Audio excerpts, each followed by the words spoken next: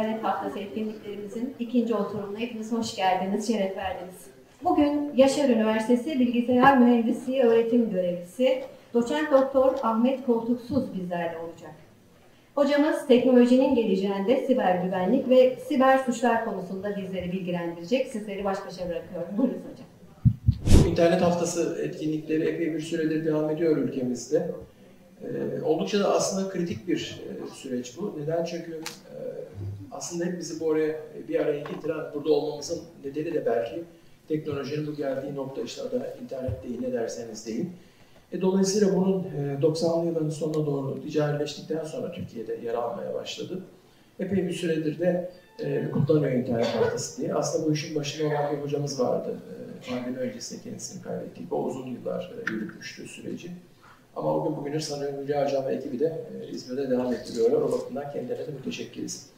Şimdi bugünkü konu benim üniversitede yüksek lisans düzeyinde verdiğim bir ders var. E, İleri Bilgi Kuramı diye. İleri Bilgi Kuramı'nın e, bileşenlerinden bir, bir tanesi bu. Şöyle bir durum var. Bilgi işlem değil, bilgisayar değil, iletişim, bilişim teknolojileri değil ne derseniz değil bir takım cihazlar kullanıyorsunuz. Ve bu cihazların da bilginin üzerinde oturduğunu biliyoruz ve bütün bunların bir takım sınırları var aslında gerek teknolojik olarak gerekse e, alttaki yatan fizik ve matematik modeller açısından. Tamam işte bilgisayar, işte efendime söyleyeyim programlar, internet vesaire işte bir sürü şey kullanıyorsunuz işte cep telefonları da. Hani bu olay nereye doğru gider? Ee, şimdi bir tarafı bu teknolojik anlamda. Bir diğer tarafı da e, benim spesifik olarak ilgilendiğim bütün bu e, bilimsel ve teknik gelişmenin güvenlik boyutu. Çünkü sonuçta teknolojik bir ürün ortaya çıktığında birileri de bunu bir şekilde o cihazın ya da o teknolojik ürünün üretim hedefleri dışında kötüye kullanılmasını gerçekleştiriyor bizim suç dediğimiz. Çok belki ilginç bir örnek olacak ama çok üst düzeyde bir teknolojiyle örneğin bir bıçak yapabilirsiniz. İşte çok özel e, karbon fiber alaşımlar vesaire oturtabilirsiniz. Yüksek bir teknoloji gerekir böyle bir ürünü ortaya koymak için. Ondan sonra çok özel bir takım tekniklerle işte elektron bombardımanı, nötron bombardımanıyla falan bunu keskinleştirirsiniz öyle keskinleşir ki ve o kadar da sertleşir ki örneğin bu mutfağı bıçağınızda 40 sene kullanırsanız körlenmez. Ne yaparsanız yapın körletemezsiniz gibi. Şimdi bu çok yüksek düzeyde bir üründür teknolojik açıdan baktığınızda. Bununla mutfakta ekmek kesebilirsiniz ama aynı bıçakla insan da kesebilirsiniz. İşte aynı bıçakla insan kesiyorsanız suç işlemiş olursunuz teknolojiyi kullanarak aslında ama suç suçtur, cezası vesairesi de kendi içine gelir. Şimdi aynı şekilde e, bu siber dünyanın e, güvenlik problemleri de çok yaygın. Bugünkü sunuş aslında e, bütün bunların ara kesitinde olan bir sunuş. Geleceği tahminlemek gibi bir işimiz yok bizim. Böyle bir derdimiz yok. Ama teknolojinin gelişimine bakarak, teknolojinin işte onar yıllık periyotlarla kısa bir süre sonra ne noktaya gelebileceğini de üç aşağı beş yukarı kestirebiliyoruz. Çünkü o teknolojiyi geliştiren bizleriz. Şimdi dolayısıyla iki katlı bir hedef var bu sunuşta. Birincisi teknolojinin nereye doğru yönlendiğini, nasıl evrildiğini incelemek gerekiyor.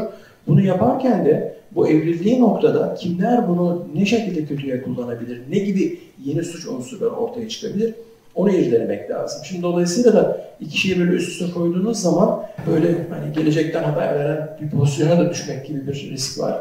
Şimdi o noktaya gelmemek için ben baştan beri gibi bir şeyi aktararak başlamak istiyorum.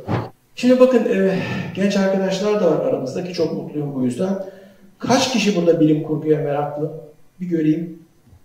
Bayağı var.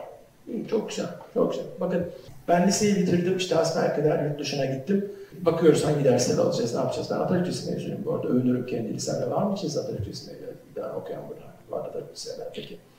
Ee, mesela bilim kurgu ders olarak okutuluyordu. Ee, hala da okutulur Amerika'da. Türkiye'de de başladı diye düşünüyorum. Ee, bilim kurgu çok farklı bir e, yazım türü.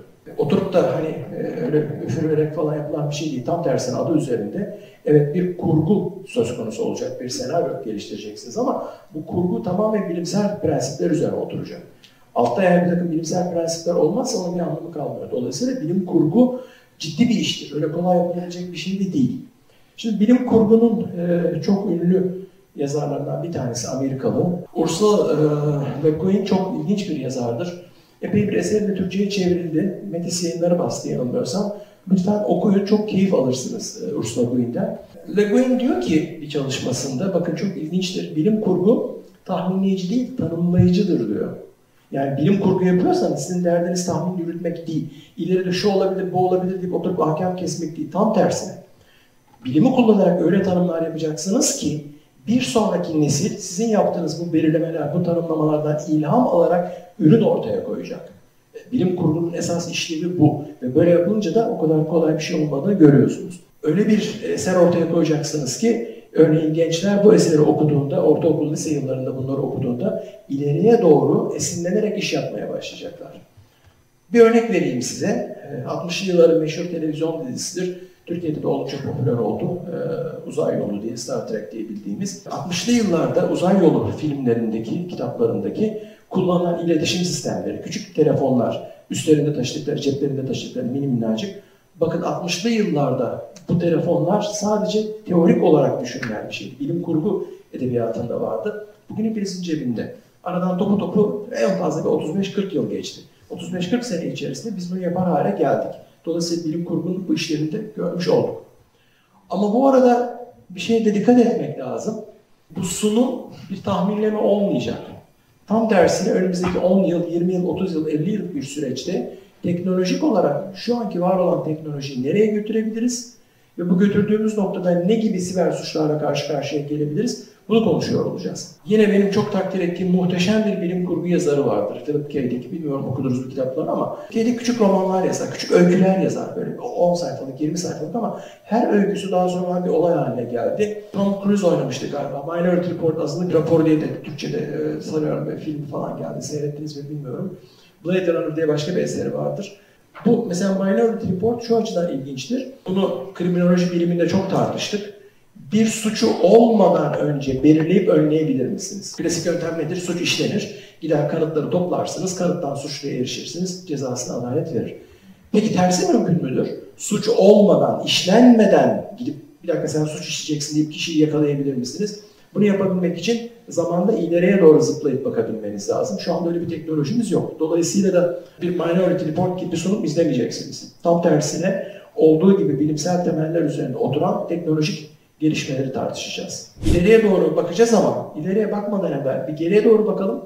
Bakın bilim kurgu bugünü nasıl şekillendiriyor? 10 sene, 15 sene, 20 sene önce yapılan bazı çalışmaların bugünü nasıl şekillendirdiğine bir bakalım. Ben güvenlik dersleri veriyorum. Birkaç tane kitap mutlaka öneririm ders alan arkadaşlarımıza. Şimdi bu kitap John Brunner'ın 73'lerde falan yazdığı bir kitap. Şok dalgası sürücüsü diye. Türkçesi de var. İnternette pdf'ini de bulabilirsiniz. Hem Türkçe hem İngilizce olarak indirebilirsiniz. Mutlaka okuyun. Çok ilginçtir. Neden çok ilginç? Çünkü e, John Brunner bu çalışmasında adına internet demiyor. Çünkü o yıllarda internet henüz şimdiki gibi böyle ticarileşmiş herkesin bilgi oluşturduğu, içinde dolaştığı bir şey değil. Bakın internetle benim tanışmam üniversite yıllarında oldu. 80'li e, yıllarda. Çünkü sadece üniversitelerde vardı internet. 90'ların sonunda ticarileşti. E şimdilerde artık cep telefonunda herkesin sürekli olarak içinde bulunduğu bir ortam. Ama bu kitap yazıldığı yıllarda öyle şimdiki gibi orada internet falan yok. Sadece üniversiteler, belirgin üniversiteler arasında bir protokol çerçevesinde haberleşme var bilgisayarla. Ve o dönemde böyle bir kitap yazılıyor. Bu kitapta bir program var bu adamın bahsettiği. Öyle bir program ki bu. Birisi yazmış, bu program bir noktada çalıştırıldığı zaman kendisinin aynısını bir başka yere kopyalayabiliyor. Şimdi böyle olunca da internette bir sürü bağlantı noktası var. Şöyle düşünün, telefonunuzda en az 200 kişinin telefon numarası vardır. Şimdi ben bir program yazsam cep telefonunuza göndersem, öyle ki bu program cep telefonunuza bakacak, kaç tane numara var cep telefonunuzda? En az 200 kişinin telefon numarası var. Tamam, kendisinin bir kopyasını bu 200 tane telefon numarasına gönderdiğini düşünün. Yani bir anda benim gönderdiğim program 200 ayrı noktaya yayılacak. Her bir yayıldığı noktadan da tekrar 200 noktaya yayıldığını düşünün. Öyle olacak ki bir süre sonra gittiği yerden size tekrar geri dönecek. Çünkü gittiği yerin de telefon numarası, sizin telefon numaranız gittiği yerde de var. Şimdi böyle olunca bu program birkaç saat içinde bütün dünyaya yayılır. Ve siz bunu asla yok edemezsiniz. Niye? Buradan silersiniz, öteki tarafta tekrar vardır. Oradan silinir, bir kopyası buradan gelir. Ve bu şekilde bir program tasarlamış adam. Böyle bir düşüncesi var. Adına da solucan diyor çünkü hani bildiğiniz topraktaki o solucan ikiye kestiğinizde solucan hemen ölmüyor. İşte iki tane solucan oluyor. Oradan yok edilemediği için adına solucan demiş. Ve gerçekten bu kitap 1970'lerde yazıldığında ortada böyle bir fikir falan yoktu. Böyle bir şey de bilinmiyordu. Bakın 80'lerin sonunda biz bunu uygular hale geldik. Hakikaten bu programları yazıp çalıştırıp bu şekilde çalışır hale geldiğini gördük ki çok ilginçtir. Ben bu kitabı çok sonra okuduğumda hayretler içinde kalmıştım. Yani sanki günümüzü tanımlıyor gibi o bakımdan çok ilginç bir bilim kurgu eseridir bu kitap. Bir başka kitap budur. Ee, William Gibson'ın. Şimdi bu kitabın özelliği şurada. Bakın hep bugünlerde duyuyorsunuz işte siber uzay, siber uzay, siber uzaya girdik de işte şöyle oldu da böyle oldu da mesela siber alem falan diye bir sürü tanımlar geçiyor. İşte bu tanım, siber uzay tanımı aslında William Gibson'ın tanımı. Ve bu tanım 1982'de yapılmış bir tanım. 1982'de siber uzay falan böyle bir şey yoktu ortalıkta. Kimsenin böyle bir şeyden haberi de yoktu. Çünkü bakın neden? Kişisel bilgisayarlar 80'lerde başladı. 80'lerin sonuna doğru yaygınlaştı. İnternet 90'larda ticarileşti. 90'larda ve 2000'lerde biz siber kelimesini kullanmaya başladık. Hemen hemen bakın düşünün 84'te söylenen bir şey 2000'lerde gerçekleşti. Çok daha önceden ve hakikaten bugünkü internet ortamını düşünün. İşte cep telefonlarında sosyal medya kullanıyorsunuz. Ee, ne bileyim işte WhatsApp'tır, Twitter'dır orada burada dolaşıyorsunuz. Şimdi cep telefonlarınızın hepsi aslında bir şekilde internete bağlı. Ve biliyor musunuz bakın şu anda internette en az 30 milyon kişi var sizinle birlikte. Avrupa'da şu anda gündüz, işte Türkiye'de gündüz, Japonya'da akşam olmaya başladı. İşte Pasifik'in öteki tarafında daha gün doğmadı bile. İşte New York taraflarında insanlar henüz kahvaltı ediyorlar. Dolayısıyla güneş ışığına göre 30-35 milyon insan var. Şimdi 30 milyon kişinin olduğu bir ortama giriyorsunuz aslında siz cep telefonunuzla internete bağlandığınızda. Ve bakın adamın tanımı aslında bunu ne kadar doğru yansıtıyor. Şöyle bir bakacak olursanız demiş ki kavranamayacak bir karmaşıklık. İşte zihnin uzayısında ışık çizgileri, öbekler ve takım yıldızları şeklinde düzenlenen veriler. Gerçekten durumda tam olarak bugün bu. Ama bunu söylediğinde adamın böyle bir ortam, böyle bir dünya yok. Dolayısıyla bakın kaç sene öncesinden şöyle bir şeyi hayal edebiliyor adam. Ha işte bu hayal biz teknisyenlerin, mühendislerin eline geldiğinde bunlar ilham alıp bunu gerçekleştirmeye çalışıyoruz. İşte bilim kurgunun işlevi bu. Bu anlamda yabana atılacak bir şey değildir. Ee, dolayısıyla daha ciddi biçimde ilgilenmenizi öneririm. Şimdi geçmiş bu kadar da kalsın. Şimdi biraz ileri doğru bakalım ne olup ne bitiyor. Şimdi bir terim var. Ee, bir yaklaşık 5-6 e, yıldır kullanıyoruz. Şöyle bir İngilizcesi var bunun. Disruptive Technologies diye geçiyor ama buradaki bu kelimeyi Türkçe yıkıcı teknolojiler diye çevirdiler ama bu yıkıcılık değil aslında. Nasıl bir şeyden bahsediyoruz? Bir teknolojik bir takım işler yapıyorsunuz, bir takım şeyler kullanıyorsunuz. Örneğin cep telefonunuz bakın. Cep telefonunu haberleşmek için kullanıyordunuz. İşte alo diyordum. Sonra birisi çıktı dedi ki bir dakika ya ben bu cep telefonunun internet bağlantısını yapayım. Bakın internet bağlantısı yapıldığı andan itibaren tam anlamıyla bir kavram değişikliği oldu. Artık cebinizdeki cep telefonu aslında cep telefonu olmaktan çıktı. Cep telefonu demek doğru değil. Neden doğru değil? Bakın cep telefonu olarak kullandığınız şey aynı zamanda fotoğraf çekiyor, ses kaydı yapıyor, video çekiyor. Efendime söyleyeyim, sesli mesaj iletebilirsiniz, yazılı mesaj iletebilirsiniz, yemek ısmarlayabilirsiniz, uçak bileti alabilirsiniz, dişçi muayenenizi oradan saptayabilirsiniz, muayenehaneye erişebilirsiniz. Aklınıza gelebilecek siber dünyadaki bütün hizmetlerden sizi yararlandıran diğer bir deyimle siber alemin giriş kapısı olarak duruyor cep telefonu cebinizde. Ha arada bir de alo sadece. Ha şimdi o zaman bakın cep telefonunu internet bağlantısını yapmak aslında işte böyle bir yıkıcı bir teknoloji. Bu resim çok güzel özetliyor bunu, yıkıcı teknoloji kavramını. Bakın herkes böyle giderken gayet güzel bir organizasyon var burada. Hava akrobasi ekibi bu. Gayet güzel bir organizasyonla iş yapılıyor burada. Bir tanesi çıkıyor bakın, bambaşka bir iş yapıyor. Bütünüyle farklı. İşte bu nedenle de deniyor ki şu var olan sistemi sonsuza kadar değiştirdiğiniz için, bambaşka bir noktaya taşıdığınız için bu teknoloji işte bu yenilikçi teknoloji ya da yıkıcı teknoloji adıyla adlandırabilirsiniz. Şimdi geçen sene itibariyle Dünya Bankası bir sınavlama yapmış. Neler yıkıcı teknolojilerdir, yeni teknolojilerdir, sistemi değiştirir, oyunu değiştirir diye bakacak olursanız. Bakın bulut bilişim bunlardan bir tanesi.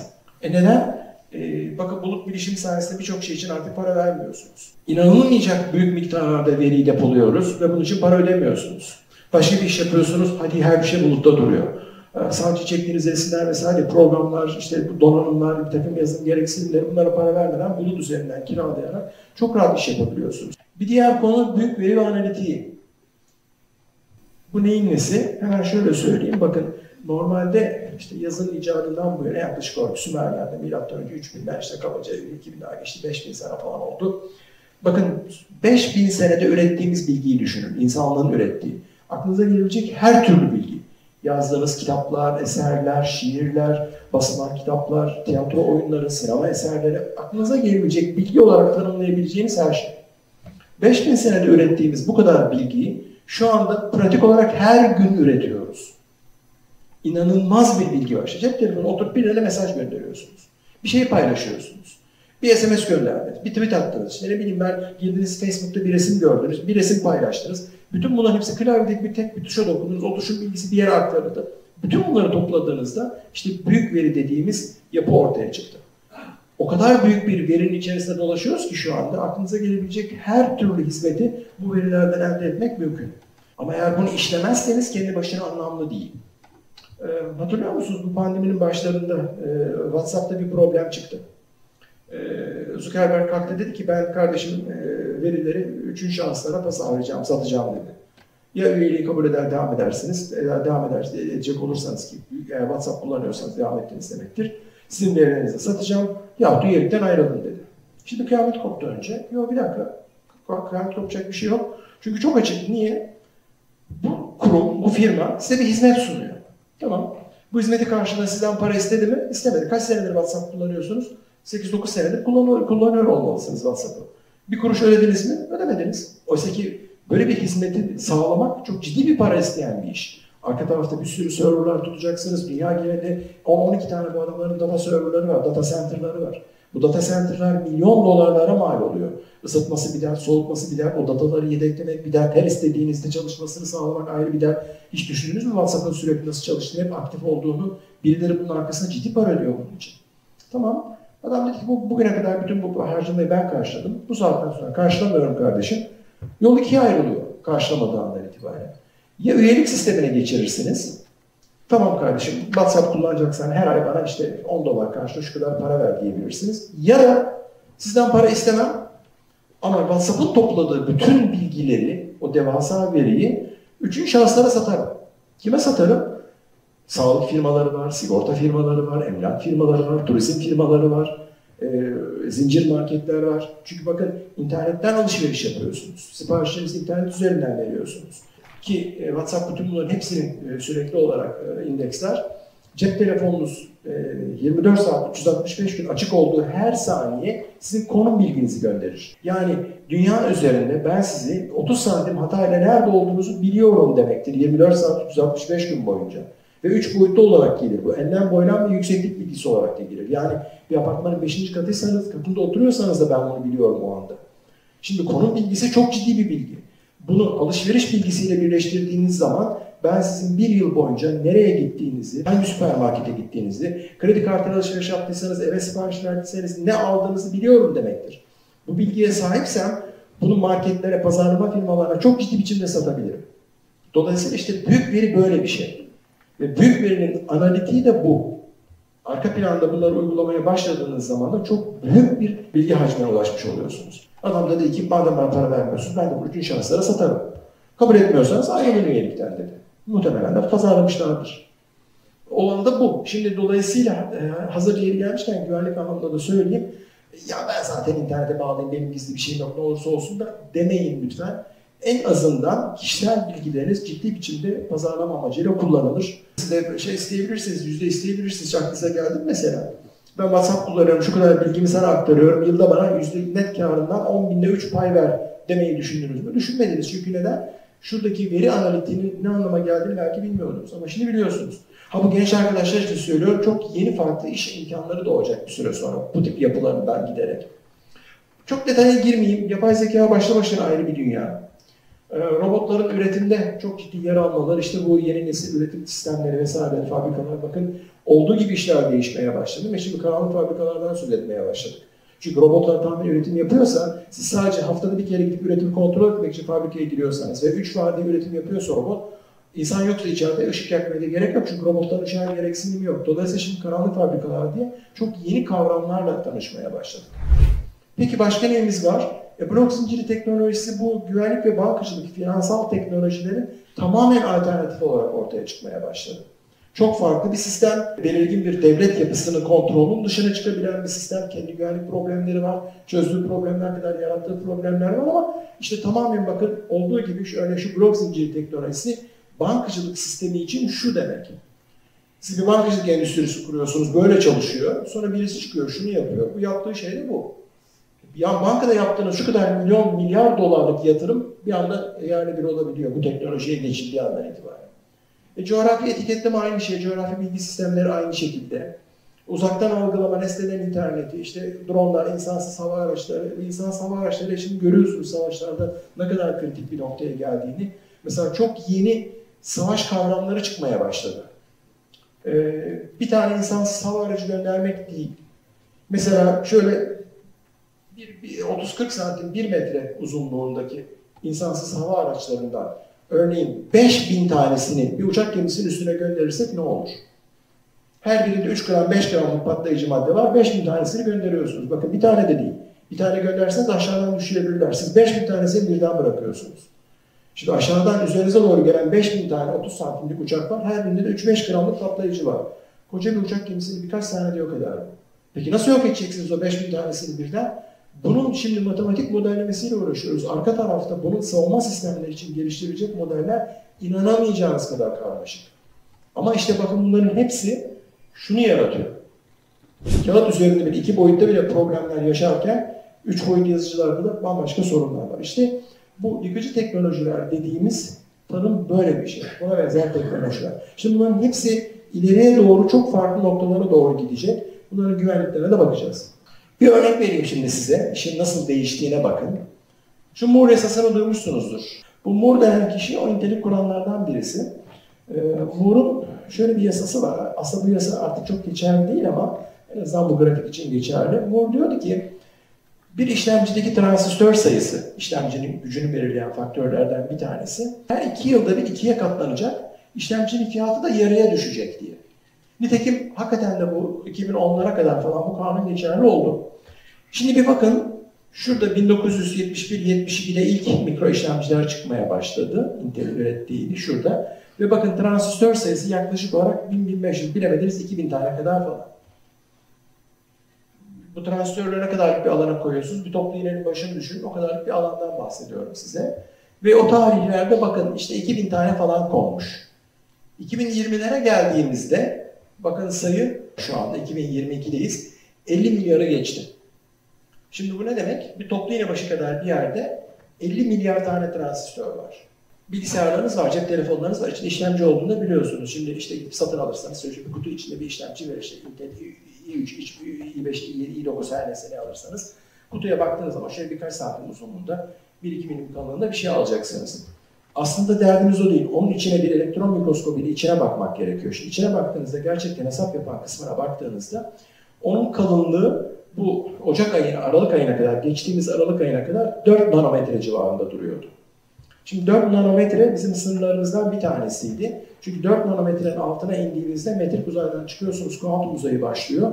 Bu sefer kuantum uzayında 2 ile 2'yi 10 defa topladığınızda 10 defa farklı sonuç geliyor. Şimdi metrik uzayda tutabilirseniz hesaplamayı o zaman doğru çalışıyor sistem. Ama 4 nanometrenin altına inmiyor idi yaklaşık bir 2008'lerden bu yana. Hatta bu nedenle Intel 2010 yılında demişti ki ya kardeşim bunu 4 nanometrenin altına indiremiyorum ama işlemci gücüne de ihtiyacım var. O zaman ne yapacağım? Tek işlemci kullanmayacağım. Bütün sistemlerde birden çok işlemci kullanmaya başlayacağız. Nitekim 2010'dan itibaren en pratiği cebinizdeki cep telefonlarıdır. 4 çekirdekli, 8 çekirdekli, 16 çekirdekli diye gelmeye başladı işlemciler. Şu anda yeni bir cep telefonu kullanıyorsanız en az 4 ila 8 çekirdeği vardır içerisinde. İşte bunun nedeni o. 4 nanometrenin altına indiremediğimiz için madem daha fazla küçültemiyoruz o zaman yan yana birkaç tane koyalım ki daha çok işlem yapalım, daha hızlı çalışsın diye düşündük. Doğrudur, 2010'dan itibaren de bu yürüyordu. Sonra ne oldu? Bu geçtiğimiz e, Aralık ayında IBM bir duyuru yaptı. Dedi ki ilk defa ben 4 nanometrenin altına inip 2 nanometreye indi diye. Baktık hakikaten becermişler. Klasik konvansiyonel bir işlemci 2 nanometrenin altında. Şimdi bu ne anlama geliyor? Ben size söyleyeyim ne anlama geleceğini. Bu yaklaşık olarak yaz aylarında Haziran, Temmuz gibi e, prototip olmaktan, laboratuvardan çıkar, seri üretime girer. IBM bunu kendisi üretmeyecektir, verecek birine patentini, orada ürettirecek. Şimdi Intel hemen kendisi de 2 nanometreye çekemezse üretimini, ben size söyleyeyim bir sene iflas eder adamlar. Hemen bir başkası muhtemelen Çinliler onlar bunlar kaparsa 2 nanometrenin altında üretim yapmaya başlarsanız bu şu demektir. Bütün cep telefonlarınız, bütün bilgisayarlarınızdaki işlemciler değişecek. Bunların değişmesi demek bütün bu bilgisayarların ve cep telefonlarının yenilenmesi demek. Çünkü 2 nanometrenin altına indirirsem çok daha güçlü işler yapabilirim o cep telefonunda, o bilgisayarda. Daha fazla işlem yaparım. Dolayısıyla cebinizdeki cep telefonu işe yaramaz, yenisini almak istersiniz. Şimdi düşünebiliyor musunuz dünyadaki cep telefonu pazarının kaç milyar, kaç hatta trilyon dolara yaklaştığını ve bir anda hepsinin yenileneceğini ve bu teknolojiyi kim elinde tutarsa korkunç para kazanacak demektir. Bakın öyle böyle değil. İşte e, disruptif teknolojiler böyle çalışıyor. Bir anda o teknoloji eline geçiren olduğu gibi üstünlüğü yakalayıveriyor. Bambaşka insansız hava uçakları yapmaya başlarsınız. İnsansız denizaltılar yaparsınız. Dolayısıyla önümüzdeki yakın gelecekte 10 yıllık dönemde bunları çok rahat öngörebiliyoruz çünkü artık işin nereye indiğini gördük. Şimdi bakın 1970'te başlayan süreç 2020'lere geldiğinde yani kabaca bakın 50 sene geçti. O kadar çok büyük bir süre değil aslında insanlık tarihinde. 50 senede şu kat edilen mesafeye bakın. Birkaç bin taneden 50 milyara çıktı. Bunun sonucu ne oldu peki? Bu işin fabrika tarafı, baktığınız zaman Intel tarafı. Bunu teknolojiye, insan kullanımına verdiğinizde bakın olup biten bu. Şuradaki gelişmeler bakın şurası aslında değil mi polinomiyal bir grafik bu. Ee, normalde gelişmelerin polinomiyal olmasını beklersiniz. Şu şekilde bir fonksiyon, bir polinomiyal bir fonksiyon olarak düşünürsünüz ama hayır. Şuradaki gelişme nedeniyle bunun teknoloji ürüne yansımasına baktığımızda üstel bir büyüme oluştu. Eksponansiyel bir büyüme ile karşılaştık. Neler bu eksponansiyel büyümede neler var? İşte bakın dronlar burada. Kendi kendine giden araçlar, nanoprintler, şimdi nanoprintlerle mesela molekül yapımıyla uğraşmaya başlayacağız çok kısa bir süre sonunda. Aşı başı yapımları mesela çok farklı bir noktaya gidecek virüslerle uğraşırken. İşte e, global connectivity dediğimiz olay gerçekleşti. Elinizdeki cep telefonuyla dünyanın her yerinde herkesle iletişim kurabiliyorsunuz herhangi bir yerde çalışabilen, uzaktan kontrol edilebilen robotlar başladı. Bundan bir 10 sene önce robotik cerrahi vardı ama sadece bir hastanede cerrah var, robot orada, işte hasta orada yatıyor. E, hastaya o şekilde müdahale ediliyordu. Yok şimdi öyle değil. Şu ikisini birleştirdiğiniz zaman, şu global connectivity ve şu robot, telepresens robotları birleştirdiğiniz zaman ben size söyleyeyim ne oldu. Şimdi uzman düşünün, çok özel bir konuda uzman. Dünyada bu uzmandan diyelim 3 tane 5 tane var, fazla değil. E, o uzman ameliyat olmak istediğiniz uzman dünyanın herhangi bir yerinde olabilir. Diyelim ki Çin'de ya da Amerika'da bir yerde. Nasıl gideceksiniz ameliyat olmaya o kişinin altına? Gerek kalmadı. Bulunduğunuz yerdeki, bulunduğunuz kentteki robotu, size ameliyat edecek olan robotu şu global connectivity sayesinde o kişi Çin'den ya da Amerika'dan kontrol ediyor. Yani siz ameliyatı gene o kişi oluyorsunuz ama o kişi fiziksel olarak Amerika'da bir yerde. Ya da ne bileyim işte Kuzey Almanya'da bir yerde ama siz buradasınız, Türkiye'desiniz. İşte e, robotik cerrahinin geldiği noktalardan bir tanesi bu. Yani dünya üzerinde nerede olduğunuzun artık çok büyük bir önemi kalmamaya başladı ya da uzmanın nerede olduğunu. Yeter ki global bir bağlantı altyapısı olsun ve robotik cerrahi elinizin altında olsun. İşte bütün bunların hepsi şimdi normalde baktığınızda çok basit olağan gibi geliyor size ama hepsinin arkasında bu yatıyor işte arkadaşlar aslında. 50 milyar tane transistörü işin içine oturtabilmek.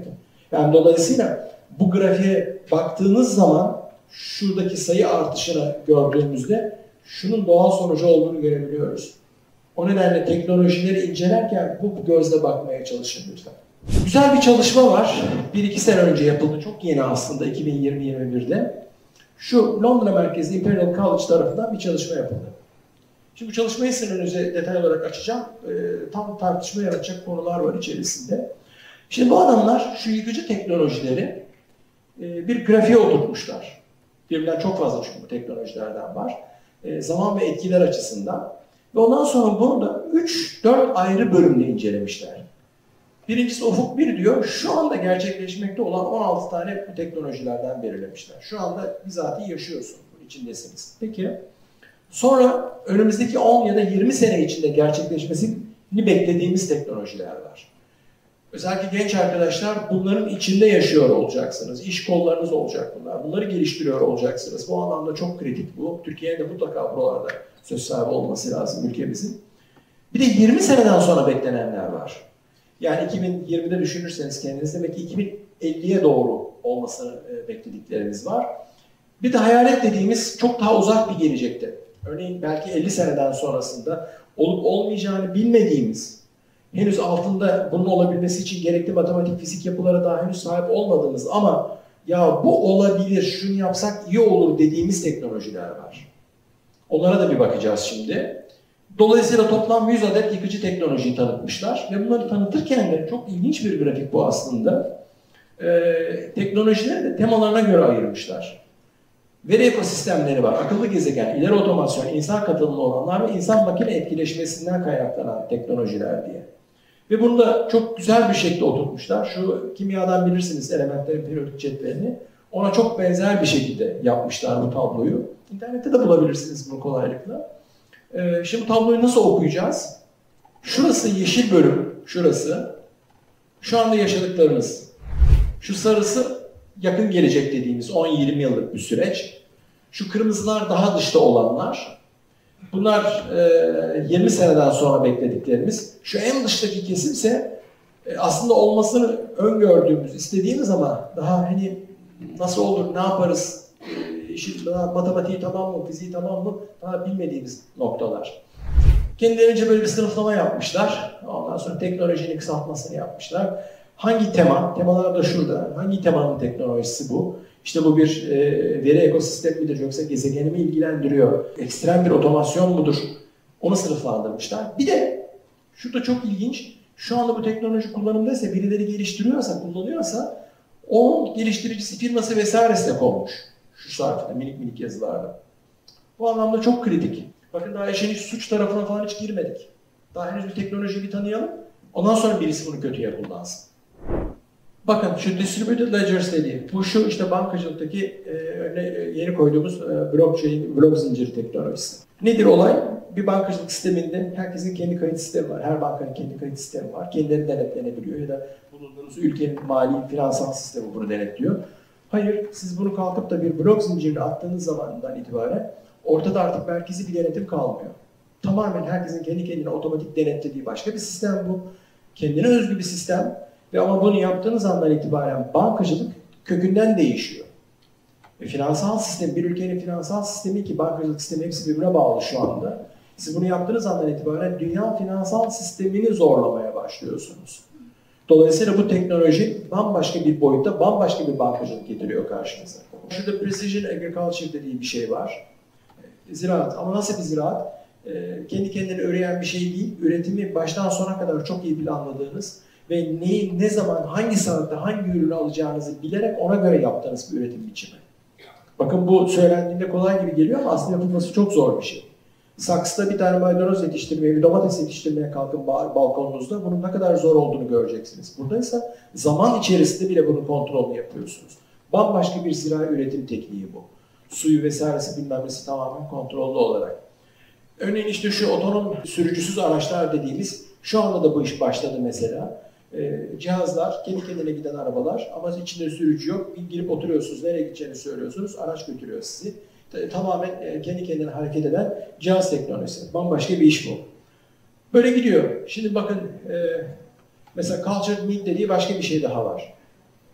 Bu da İkinci Dünya Savaşı'nda aslında Churchill'in düşüncesidir. Şimdi et ihtiyacı çok ciddi bir problem. Ama bir hayvanı şu kadar e, senede büyütüyorsunuz, kesinlik bir hale geliyor. Kestiğiniz zaman işte boynuzu, kulağı bilmem nesi falan çıkardığınız zaman yenilebilecek et çok az. Peki acaba ben bunu yapmak yerine eti kök hücreden başlayarak laboratuvarda üretsem, sadece et olarak üretsem, bu düşünce 2. Dünya Savaşı'nda ortaya atılmış. Önce hayal gibi geliyordu. Sonraları bir yaklaşık bir 10 sene kadar önce işte bir hamburgerlik et üretildiğinde 10 bin dolara falan mal olmuştu. Ama sonradan yavaş yavaş yavaş giderek ucuzlamaya başladı. Kısa bir süre sonra bir kök hücreden başlayıp eti kendimiz üreteceğiz. Hayvana vesaire bağımlı olmadan. Bu hayvan katliamını da yok edecek ama bu bambaşka bir teknoloji mesela bu yürüttüğünüz zaman. Pekala şimdi bir bakalım başka ne var? Intention Decoding Algorithms. Ha. Bakın şu algoritma. Network'te şu an kullandığımız network teknolojilerinde çığır açan başka bir teknoloji var. Ve bu çok yaygınlaşmaya başladı. Ee, en büyük problem internette kişinin kim olduğunu e, tespit edebilmek. Çünkü internette kişinin kendini saklaması göreceli olarak kolay bir şey. Ama ne yapmaya çalışıyor bu kişi? Nereye erişmeye çalışıyor? Arka tarafta ne yapmak istiyor? Niyeti nedir diye sorduğumuzda acaba bunu yakalayabilen bir algoritma olabilir mi? Yani ben siz internette dolaşır iken e, işte o sayfaya giriyorsunuz, bu sayfaya çıkıyorsunuz, sosyal medyada dolaşıyorsunuz, bir yerleri sorguluyorsunuz, Google'da bir takım sorgulamalar yapıyorsunuz. Bunları yaparken acaba niyetinizi kavrayabilir miyim ben? Ne yapmak istediğinizi algılayabilir miyim? Eğer bunu algılayabilecek bir sistem yaratırsam birkaç amaçla kullanırım. Birincisi işinizi kolaylaştırabilir. Çok vakit kaybetmeden istediğinizi kolay bulursunuz. İş dünyasında bu milyonlarca dolar tasarruf demektir. Ha, ikincisi de kötü niyetliyseniz kötü niyeti önceden yakalayabilirim belki. İşte Minority Report onun için bahsettim. Acaba Minority Report'a doğru gidebilir miyim? Yani ben niyetinizin kötü olduğunu sezebilir miyim siz internette dolanırken? Şimdi size tuhaf gibi gelebilecek birkaç ay önce bir yürüttüğüm doktora çalışması sonuçlandı. İnternetteki hackerların profil analizlerini çıkarmaya başladık. Profiling dediğimiz bir şey bu. Suçlar üzerine yapılan bir şey. Bunu internete taşıyabilir miyiz dedik. Yani bir kişi internette hacking yapıyor. Ee, ben bu kişinin iş yapış biçiminden yola çıkarak bir takım istatistik özelliklerini toplasam acaba bu kişiyi internette takip edebilir miyim? Nedir bunlar? Örneğin klavye kullanırken kullanım hızınız. Yani bir tuşa bastınız, ikinci tuşa basarken bir iki tuş arasındaki, tuş basımı arasındaki zaman kaç mikrosaniye? Hakkınızda iyi istatistik tutabilirsem, klavye kullanırken sinirli misiniz, sakin misiniz, huysuz musunuz, o gün problemli misiniz, ya da profesyonel misiniz? Bunu ayırt edebilirim kolaylıkla. Başka, internette dolanırken, bir sayfada da gezerken ya da bir hackleme işi yaparken hangi fonksiyonları kullanıyor? Ne kadar profesyonel, işin ne kadar içerisine girebiliyor? Ne kadar tool kullanabiliyor? Hangi sistemin hangi araçlarına hakim? Bunları da bilirsem ben üç aşağı beş yukarı kimin hangi düzeyde, ne ölçüde yetkin olduğunu ve günün hangi saatlerinde nerede hacklemeye çalıştığı hakkında da ayrıntılı istatistik toplarsam yavaş yavaş bir hacker profilini ortaya çıkarabilirim. Bu çalışma yeni bir şey değil, çoktandır yapılmaya çalışılıyordu ama e, biz bunu gerçekleştirebildik. Gerçek hacker datalarıyla e, gerçekleştirdik. İşte 3-4 senemizi aldı datalarını toplamak ve gerçek hackerlarla da çalışarak elde ettik bir takım profilleri. Şimdi bakın bu ne demek? Profil analizi yaparak kişiyi ben internette takip edebiliyorsam bunun bir üst sonraki aşaması yeterli istatistik yerinde büyük veri olursa ve büyük veri çok hızlı işleyecek prosesörlerim de varsa işte o zaman bakın şuradaki niyet e, belirleme algoritmalarını oluşturmaya başlayabilirim. Şimdi bunların hepsi şu anda yapılmaya başlanan çalışmalar bak. Buradaki teknolojilerin hepsi bu şekilde şu an e, kullanılıyor. Dolayısıyla yakın bir gelecekte kullandığınız cep telefonunun kullanış biçiminiz ve cep telefonunu ne şekilde kullandığınız, o cep telefonuyla ne yaptığınız hakkındaki bilgileri toplayarak sizin kim olduğunuzu ben takip etmeye başlayabileceğim. Şimdi dünya üzerinde de sürekli dolaşımda da olduğunuz ve bu bilgi elimin altında olduğu zaman işte çok rahatlıkla yavaş yavaş bir dakika ya bu kişinin niyeti bozuldu galiba ters bir şey yapmaya hazırlanıyor şuna bir yapıdan baksak mı diyebilecek noktasına gelebiliriz. Yani Minority Report yavaş yavaş gerçekleşebilir önümüzdeki bir 10 yıllık periyotta. Pekala, şimdi biraz daha üste çıkayım. Oradan birkaç örneğe bakalım. 10 yıllık periyotta ne oluyor? Şimdi onları görelim. Önümüzdeki 10 senede nelerle karşılaşabiliriz? Nelerin peşindeyiz? Bir tanesi self-writing software demiş. Bu neyin nesi? Oturup bilgisayarda kod yazıyorsunuz. Şu işi yapan bir program, şu işi yapan şöyle bir program olsun. Ben şöyle bir şeye ihtiyacım var. Oturayım bana programını yazayım yapsın. Peki. Öyle bir program düşünün ki ne istediğinizi söylüyorsunuz, o sizin yerinize kod yazıyor. Bunu yapan bir program olur mu? Bu hepimizin hayali.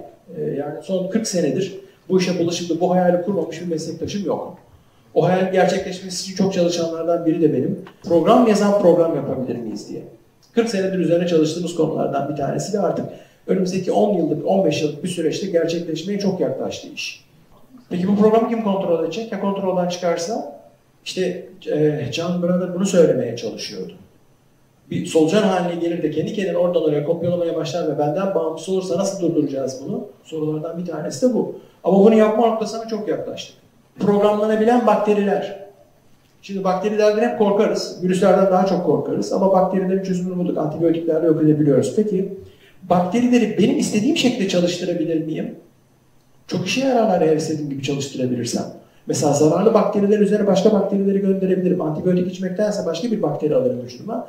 Beni hasta eden örneğin zatüre bakterisiyle, bir pneumoniyle çok rahatlıkla bir başka bakteri savaşabilir. Benim ruhum duymaz, gider beni iyileştiriverir.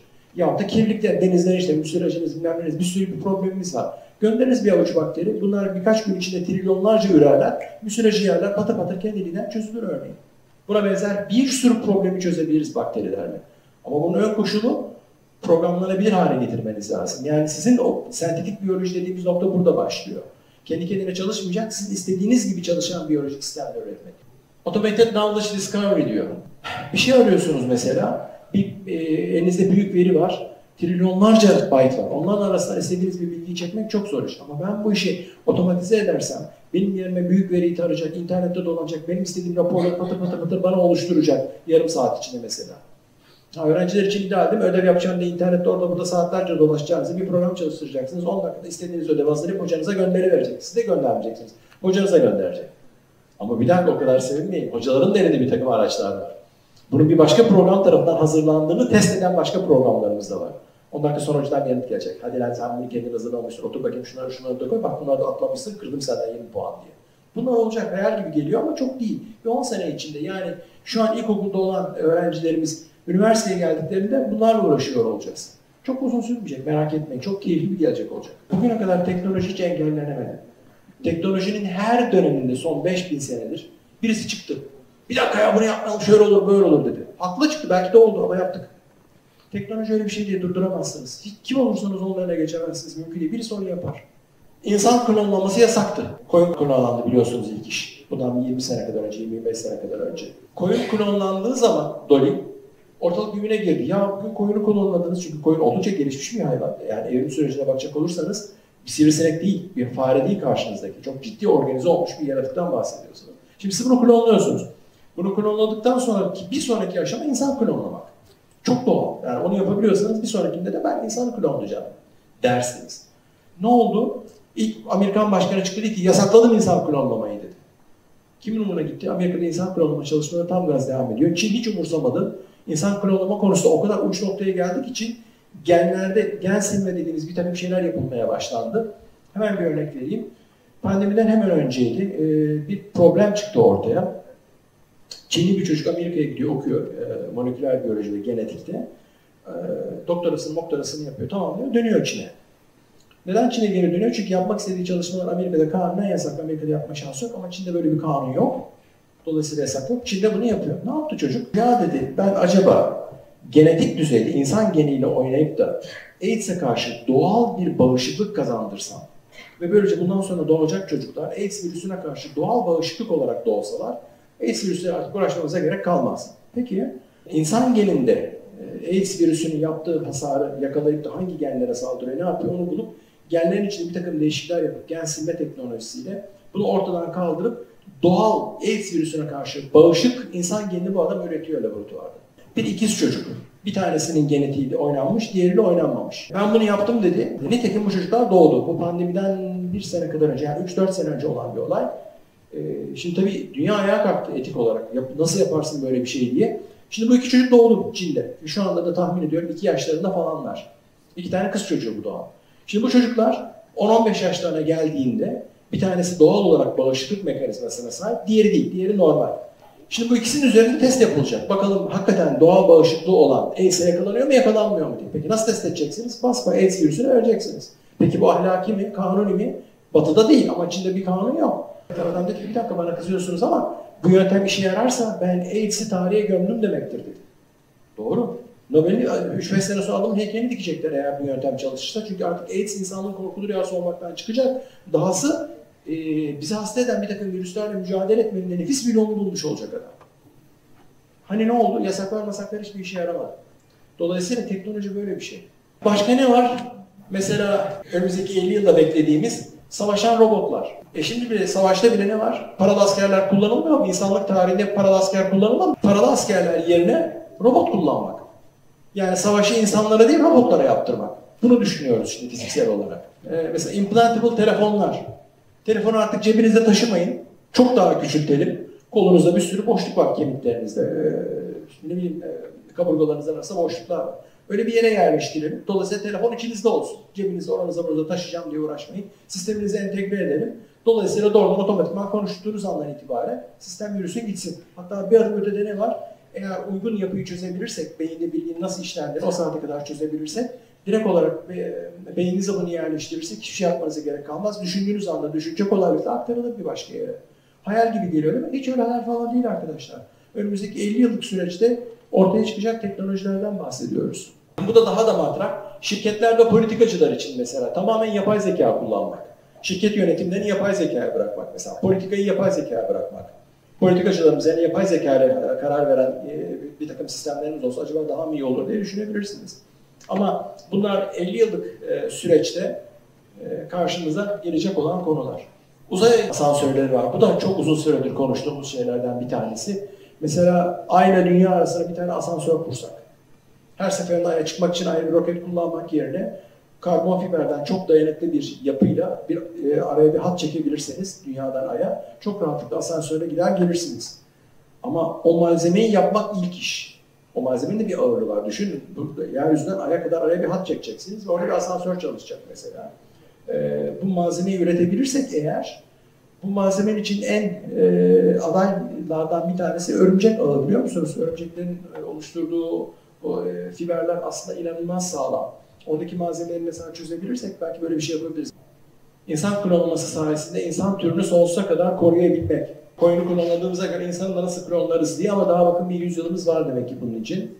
Böyle böyle gidiyor. Aynı şekilde şu anki bıraktığınız sayısal ayak izlerini silen yazılımlarımız yok. O nedenle şimdi diyoruz ki internete koyduğunuz internete kalır dikkat edin diye. Bunu silecek bir teknoloji geliştirebilir miyiz acaba? Dijital ayak izlerinizi yok edecek bir teknolojimiz olabilir mi? Bunun için internet altyapısını, daha, daha doğrusu komputasyon altyapısını değiştirmek gerekiyor gibi gibi gibi. Daha komplike bir çalışma bu.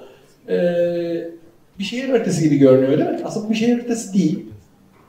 Bakın farklı alanlar seçilmiş. İşte iş dünyası diyor, ekonomi diyor, para demiş, gıda, işte teknoloji, kiralama, çevre, medya, transport, politik böyle gidiyor. Bunların 2017-2050 arasında hangi alanın hangisiyle nasıl kesişeceğini ve bu kesişim noktalarında hangi teknolojilerin ortaya çıkacağını görüyorsunuz. Bunu internetten indirip de gidip böyle minik minik bu çok küçük yazılar çünkü daha fazla büyütemiyorum. Gidip büyütüp tek tek kesişim noktalarında işte örneğin teknolojiyle paranın ya da teknolojiyle ekonominin ya da teknolojiyle gıdanın nerelerde kesişip hangi teknolojilerin ne şekilde devreye gireceğini, hangi e, yıkıcı teknolojiler ortaya çıkacağını görmek istiyorsanız yolları takip etmeye başlıyorsunuz. Niye bu çalışmaları yapıyorlar derseniz buradaki hedef öyle tahminlemek, gelecekten ahkam kesmek falan, falcılık falan değil. Tam tersine. Böyle bir haritayı yapabilmeniz için var olan bütün bu teknolojileri, bütün bu sistemleri çok iyi tanıyor olmanız lazım. Ve bunları tanıyarak bu haritaları geliştirdiğiniz zaman iş kurma, şirketler, finansman, yatırım tamamen bunlar üzerinden yapılıyor. Dolayısıyla da bir çalışma yapılacaksa, bir doktora yapılacaksa, bir teknoloji geliştirecekse durup dururken bir sabah evden yola çıkarken hadi ya ben bugün gideyim laboratuvarda şu çalışmayı yapayım, şunu geliştireyim diye çıkmıyorsunuz. İşte bu bunların hepsi aslında haritalarınız, yol haritalarınız. Buradan yola çıkarak teknolojiyi belirleyip o alanlarda yatırım yapıp çalışmaya başlıyorsunuz. Ve sonra bir bakıyorsunuz iki sene sonra lap diye bir teknoloji, yeni bir program geliyor. Aa ne güzel bir süre atlıyorsunuz. Aslında onun arkasında 5 yıllık, 10 yıllık bir çalışma var bu şekilde hareket edilen. Şimdi buraya kadar teknolojiyi gördük. Nereye doğru gider, nasıl planlanır, ileriye doğru nasıl bakılır. Peki bunlar suç tarafında ne oluyor peki? Ee, biraz da oraya bakalım şimdi. Bu Birleşmiş Milletler'in yaptığı bir siber suç tanımı. İki şekilde suç tanımlanabiliyor siber suç. Dar anlamda bu bir bilgisayar suçu. Yani bir bilgisayara karşı işlediğiniz bir suç. Bir başkasının bilgisayar sistemine girdiniz, bir başkasının ait bilgisayar sistemini oynadınız, bir başkasının cep telefonunu hacklediniz, bir başkasının masasında bıraktığı cep telefonunu aldınız, orasını burasını karıştırdınız. Diskini bırakmış, diskini aldınız, orasını burasını mıcıkladınız. Bunlar hepsi bilişim suçu. Ha kendi arasında değişik alt kırılımları var. Türk Ceza Kanunu açar bakarsanız ilgili maddelerine bilişim suçların orada madde madde madde tanımlanıyor. Bir de bilgisayar vasıtalı suçlar var. Daha geniş anlamda. Yani bir bilgisayar sistemini kullanarak bir başka sisteme saldırdınız. İşte 3 kişi 4 kişi bir araya geldiniz. Kendi aranızda bir ekip kurdunuz. O ekip bir bankacılık sistemine mesela saldırdı. Çok daha komplike, çok daha gelişmiş ve bilgisayar aracılığıyla işlenen bir suç. Bilgisayara karşı değil, bilgisayar aracılığıyla bir bankanın çökertilmesi, bir havayolu sisteminin çökertilmesi, bir ekonomik sisteme zarar vermesi, bir hastane sisteminin çökertilmesi gibi. İşte onlar da geniş anlamda bilgisayarla ilişki ya da bilgisayar bağımsızlığı suçlar diye. Böyle bir tanımı var. Bu Birleşmiş Milletler'in yaptığı bir tanımdır. Bir adım öteye gittiğinizde bu sefer bakın e, terörizmin siber dünyaya taşınması ortaya çıkıyor. Neyin nesi bu? Artık tek kişi değil, bir ekip olarak, bir grup olarak yapılan bir çalışma ve politik bir gündemle yapılan bir iş bu. Bakın tanım FBI'den geliyor. 2005'te yapılmış bir tanım. Bu tanım dünya epey bir karıştırdı. Mesela Doğu blok ülkeleri, Rusya kesinlikle bu tanıma karşı çıktı. Çin kabul etmedi, işte Rusya kabul etmedi gibi gibi. Çünkü tanıma bir bakın diyor ki belirgin bir politik, sosyal veya ideolojik gündeme uygun olarak bir hükümet veya halkı etkilemek amacıyla var olan bir kitle üzerine karmaşa ve belirsizlik oluşturarak korku ve dehşet yaratmak için şiddet, yıkım ve veya hizmetlerde aksamayla sonuçlanacak biçimde bilgisayarların ve telekomünikasyon imkan ve kabiliyetlerinin kullanılmasıyla işlenen bir suçtur. Çok ciddi bir tanım bu. Politik bir hedef var. O politik hedef doğrultusunda halkı etkilemek, manipüle etmek için korku, şiddet, yıkım, dehşetle sonuçlanabilecek olaylar zincirini başlatıyorsunuz. İşte bunların da siber terörizm. Böyle bir tanımı var. E, ve maalesef internette de çok çok çok yaygın olarak karşımıza çıkan durumlardan bir tanesidir. Şimdi teknolojiyi gördük, ileriye doğru ne şekilde açılabileceğini gördük. Farklı farklı yıllarda işte 20 yıllık, 30 yıllık, 50 yıllık ve 100 yıllık periyotlarla. Şimdi suç kavramında gördüğümüze göre peki bunları bir araya getirirseniz bizi neler bekliyor önümüzdeki çok yakın bir dönemde? Şimdi ona bir bakalım. Bakalım neler var. Şimdi diskler e, istediğimiz kadar e, veri depolamıyor. Neden istediğimiz kadar depolamıyor? E, demin bahsettim. 5000 senede ürettiğimiz bilgiyi her gün neredeyse iki katını üretir hale geldik. Peki bunu nerede depolayacağım ben? E, hard diskler yetmiyor. Hard diskler evet 10 terabayt, 20 terabayt, 30 terabayt hard disklerimiz var ama sonuçta 10 terabayt hard disk diyorsunuz. Şu avuç büyüklüğünde olan bir şey bu. E bunlardan üst üste koyduğunuz zaman bir süre sonra yer bulamamaya başlıyorsunuz. Halbuki biz ne istiyoruz? Çok daha küçük ortamlarda mesela birkaç santimetre karelik bir ortamda kalınlığı 2 milimetre olsun genişliği de işte 1 santimetre 2 santimetre kare bir şeyin üzerinde 10 tane hard disk yazacağım bilgiyi tutayım. Tamam bu teknoloji var aslında. Hitachi bunu geliştiriyor Japonya'da. Kuars kristali biliyorsunuz. E, kuarsı yapı olarak üretip onu dilim dilim e, kesip böyle 2 milimetrelik bir kalınlıkta işte 100 tane hard diskte tutacak bilgiyi tutuyoruz. Üzerine lazerle yazıyorsunuz. Bir kere yazdıktan sonra bilgi de orada kalıyor. Sürekli bozulma, çürüme bilmem ne gibi derdi de yok. İşte adam mesela diyor ki 120 bin sene garanti veriyorum diyor. Buraya yazdığınız bilgi 120 bin sene kalır diyor. 120 bin sene garanti herhalde yeter diye düşünüyorum. Şimdi dolayısıyla buna benzer depolama ortamları kullanılmaya başlanacak çok yakın bir zamanda. Ha, peki o zaman ne gibi suçlar işlenecek bunlara karşı? Buyurun. Kuars hard disk için geliştirilen kuars eriten sıvılar, lazer benzeri teknolojiler bir taraftan geliştirilecek. Devlet arşivlerini vesairelerini hacklemek anlamında. Bellek olarak molekül tasarımlarımız var. E tabi e, her seferinde aynı şeyi söylüyorum ben kendi öğrencilerime. Ya kitabı ezberlemeye kalkmayın ya da ne bileyim kitap yanınıza taşımaya kalkmayın. Kitabı anlarsanız eğer, kitaptaki bilgiyi kafanıza taşırsanız çok daha kolay olur. Çünkü kitap dediğiniz şey aslında odun. Niye odun taşıyorsunuz? Hiçbir şey yapamıyorsanız bunu manyetik ortama atın. Manyetik ortamda çok daha fazla kitabı PDF olarak taşırsınız. Ama ideali kafanıza taşımaktır. Yani organik moleküllerde tutmaktır bilgiyi. E tabi öyle öğrenmediniz mi? Okuma yazmayı nasıl öğrendiniz? Şiir nasıl ezberliyorsunuz? Bunca yılın bilgisi nerede duruyor? Bunca senedir bu kadar anınız, bilginiz, öğrendiğiniz, yaşadığınız bütün yaşanmışlıklarınız. Organik olarak moleküllerde tutuyoruz işte beynimizde. Başka bir şey değil. Ha demek ki o zaman ben bu bilgiyi moleküllerde tutabilirsem iş çok büyüyecek. Nitekim 2013'ten beri bilgiyi DNA'ya yazabiliyoruz. Yani aslında bizim organik hard disklerimiz var. Daha şu anda piyasada yok, satın almıyorsunuz. Öyle bir şey kullanılmıyor ama elimizde bu teknoloji var. Çünkü DNA zaten evvel emirde bir bilgi depolama aracıdır. Hücrenin içerisine oturtursunuz DNA. DNA o hücreden bir tane daha yapmak için gereken bilginin tutulduğu bir aslında bilgi saklayan bir kütüphane. Bir insan oluşturan yaklaşık bir trilyon hücre var. Yani bağırsaklarınızdaki bakterilerle beraber bir trilyon kadar hücreden oluşuyorsunuz. Vücudunuzun herhangi bir noktasından bir tane hücre alırsam, bu hücrenin aynısından bir trilyon tane daha yaparsam pratik olarak bir kopyanızı üretmiş olurum. Peki nasıl yapacağım bu işi? O hücreden bir tane daha üretebilmek için gerekli bilgi DNA'nın içinde var. Yani DNA aslında bilgi saklayan bir ortam. Zaten doğası bilgi saklamak. 4-6 GB arasında veri saklayabiliyoruz DNA'nın içinde. Bu teknoloji elimizde var. Bildiğiniz bilgisayardaki 4 GB'lık bilgiyi DNA'nın içine depolamamız mümkün.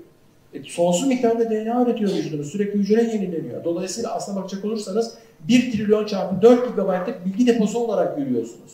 Böyle düşünmemiş olabilirsiniz ama insanın bizatihi kendisi aslında bir veri deposu. Ha şimdi böyle olunca o zaman ben buna saldıracaksam eğer bellek olarak kullanılacak moleküllere saldıran molekülleri yapıyor olmalıyım. Bunlar da çıkacak ortaya. Dolayısıyla yeni suç biçimlerinden bir tanesi bu. E, her şeyi DNA üzerinden götürüyorsam, genler üzerinden götürüyorsam o zaman bunları eklemeye başlamam lazım suç işleyeceksem. Bunlar önümüzdeki 20 yıllık falan bir süreçte karşılaşacağımız problemler arkadaşlar. Şimdi DVD yiyen ve çok kısa bir sürede bu şekilde delik deşik yapan bakterileri gördük. Ha, dolayısıyla bakın bu saldırı yeni bir tip değil. Ondan sonra arşivlerde DVD kullanma düşüncesi kalktı. O halde ben gerçek biyolojik biraz saldırılar yapabilirim. Gerçek virüsler yaratıp sistemlerin üzerine gönderebilirim. Yani şu anda bilgisayar virüsleri diye probleminiz var ya, virüs tarayıcılarla bilmem neler hallediyorsunuz. Gerçek biyolojik virüsler de sistemlerimize girmeye başlayabilir çünkü sistemler biyolojik olacak. Bunlar hepsi suç olarak da tanımlanacak. Peki başka? Kanun dışı makine makine veya makine insan arası tersi işlemler. E şimdi her şey robotlara yaptırıyorsunuz. Bu robotlar bu işi yaparken iki robot arasında bir iletişim olabilir ya da robot bir insanla iletişim kuruyor olabilir. İşte bu iletişim, aradaki etkileşim sırasında eğer kanun dışı işler yapılıyorsa Bir robota kanun dışı bir suç işlettirirseniz, gider birini öldürtürseniz ne olacak? Kimi yargılayacağız? Robot gitti bir tanesinin kafasına vurdu bir tane, öldürdünüz adamı. Peki şimdi robotu mu atacaksınız içeriye? Ha, dolayısıyla orada başka şeyler var. Ee, işin o tarafında, hukuksal tarafta çok tartıştığımız konular var. Ha, bu arada tabii nesnelerin internet içinde yer alan cihazlar. Bunların adedi 1 trilyonu geçmiş olacak önümüzdeki bir 10 yıllık süreçte. Sadece cep telefonlarınız falan değil, araçlarınız internete bağlanmış olacak, evinizdeki kahve makinesinden işte bilmem nereye kadar, buzdolabınıza kadar. Yani şöyle söyleyeyim, internete bağlanma diye bir şey söz konusu değil. Artık herkes ve her şey internetin içinde olacak. Dolayısıyla da sayı 1 trilyonu geçecek insanları da düşünecek olursanız. Ya o zaman da burada çok ciddi hacklemeler başlayacak. Bu şekilde e, listeyi uzatmak mümkün. Saatlerce örnek verebilirim size önümüzdeki 10 yıllık süreçte. Peki son bir slide.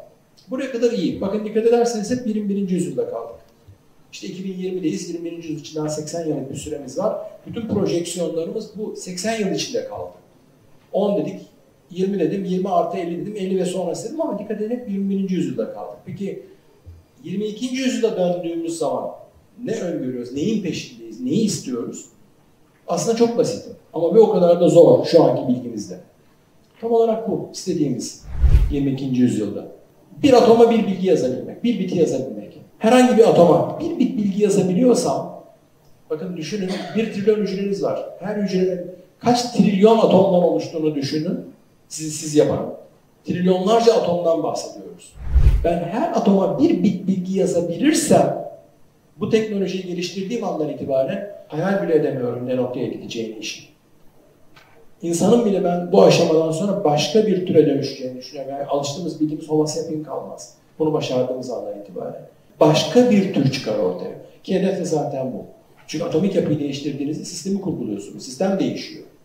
E ben o sistemi bilgiyle yöneteceğime göre her atoma bir bit yazabiliyorsam e, bambaşka bir dünya çıkar. Bunun nasıl olabileceği konusunda en ufak bir fikrim yok. Galaksiler arasında falan dolaşacaksak eğer o bilim kurgu filmlerinde gördüğümüz e, bununla yapılıyor olacak arkadaşlar. Daha önce olmaz ya da daha başka şekilde yapma şansımız yok. Evet budur. Teşekkür ederim ilginiz için.